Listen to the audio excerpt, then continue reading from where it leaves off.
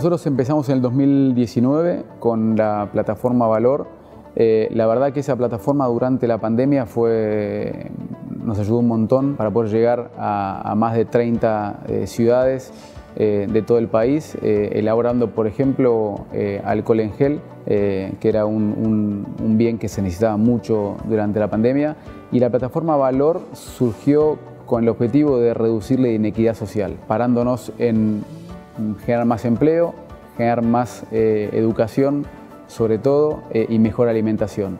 Eh, y nos sirvió para poder tener relación con una gran cantidad de organizaciones sociales para poder potenciar y acompañar el desarrollo y el trabajo de estas organizaciones que al fin y al cabo son las que hacen la diferencia en, los lugares donde están. La plataforma Valor cambió a Gauchada, le cambiamos el nombre porque lanzamos este año eh, un producto social eh, que es cebada eh, perlada, que es para consumo, en donde básicamente es una propuesta de un negocio social. Cada paquete de cebada que vendemos donamos la misma cantidad a, centros, a organizaciones sociales para dar y mejorar la alimentación.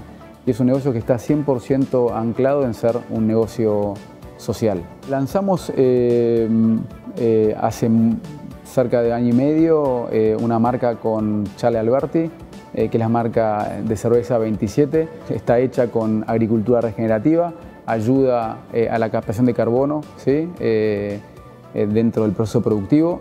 y es una marca que busca ser la primera y busca innovar y poner incómodas a las marcas más grandes para que a medida que pase el tiempo puedan todas empezar a copiar más eh, estas iniciativas que están en, pro de tener eh, un, mundo, un mundo mejor. Tenemos un parque de 21 molinos de vientos en Córdoba.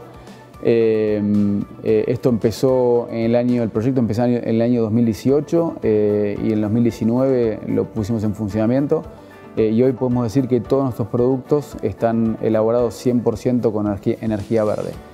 Fue un desafío muy muy grande, una inversión realmente muy muy importante y hoy somos la primera compañía de consumo masivo en, lograr tener esto. ¿no? Eh, y ese fue el primer paso eh, que nos ayudó a poder eh, tomar energía para poder proponer tener una compañía carbono neutral para el 2040, porque si no hubiésemos hecho eso de tener 100% de energía renovable, hoy sería muy muy difícil poder soñar entre una, una compañía carbono neutral para el 2040. Una parte importante de, la huella de carbono está en, los envases eh, y por eso es que nosotros trabajamos en la retornabilidad eh, y eso es un ejemplo de, economía circular.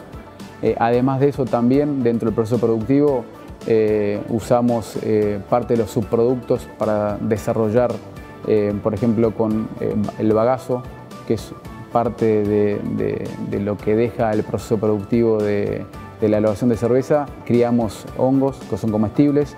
Entonces es una forma de cómo hacer para que eh, en todo el proceso productivo cada vez más se piense en tener una, economía circular, en usar todos los subproductos eh, que genera el proceso de elaboración de la cerveza.